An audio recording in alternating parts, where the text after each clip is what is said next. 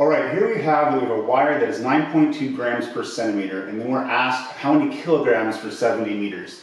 The two pieces of information we need to convert here are from grams to kilograms. So 1,000 grams is one kilogram. That will get us from grams to kilograms. And then 100 centimeters per meter. So we have this rate in centimeters uh, and the information in meters. So those are the, the connection. How to implement them. There's a couple different ways. What I would do is I'm going to change this rate right here uh, into kilograms per meter. If I simply change this rate into kilograms per meter, um, all I need to do then is to multiply that rate by the 70 meters to find out how many kilograms. Uh, so let's do it that way. Um, the, this rate of 9.2 grams per centimeter, I would write as 9.2 grams over one centimeter and then what I'm going to do is implement uh, these rates right here. Let's take care of the grams first. So I'm going to change from grams to kilograms.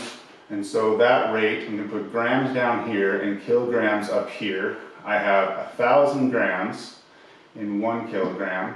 And so what that does for me is cancels out the grams and turns it into kilograms information. Then uh, what I'm going to do is I'm going to take the uh, 100 centimeters in a meter, and I'm going to do that to change from centimeters to meters. Uh, in this case, now I'm a little further away, but the idea is I want to get rid of my centimeters. I put them up here so they're across and cancel, and my meter information right here. And then, and then as always, I don't get to choose what numbers go here. It comes directly from this. It's 100 meters and one centimeter. So I write that in uh, right here uh, one meter and 100 centimeters. And again, what that does is cancels out this information of centimeters. Um, I'm left with kilograms in the numerator and meters in the denominator, which will make this uh, a kilograms per meter rate. Uh, I'm just going to multiply straight across. I can do some more cross canceling. I'm going to do that first actually before I multiply across. Um, this is 100 and 1,000. I can divide out the factor of 100 here. So I get a 1 here, and uh, there's 10 hundreds in a thousand. Um, and now I'll multiply uh, straight across. So we see 9.2 times 1 times 1 is uh, 9.2 kilograms. Now it's my unit on top, and then the bottom I get a 10 uh, meters is my units. If I divide this, uh, what I would get is a 0.92 uh, kilograms per meter.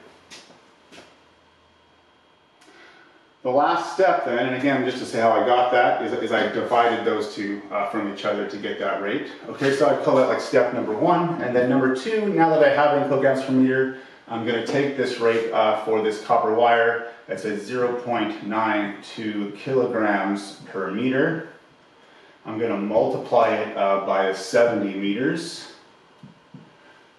and what I just, uh, in the ends, my meters cancel out here. Whatever uh, 0.92 in this case, or point 0.92 times 70 equals uh, 64.4, and kilograms is my units over just one, so let's just say 64.4 kilograms is uh, the weight of this wire. So just a real quick uh, refresh on what we did right there. Um, we had grams per centimeters, but we wanted to translate that into kilograms per meter because that was the information being requested and given. We do that with those rates, so we do, we're not going to deal with the 70 meters at all in this first one until we get to our new rate. Then we take our rate and we multiply it by the 70 meters, and you can always double check. The meters do cancel, leaving us just with kilograms, meaning that our final information is in the units of kilograms. In this case, it would be 64.4.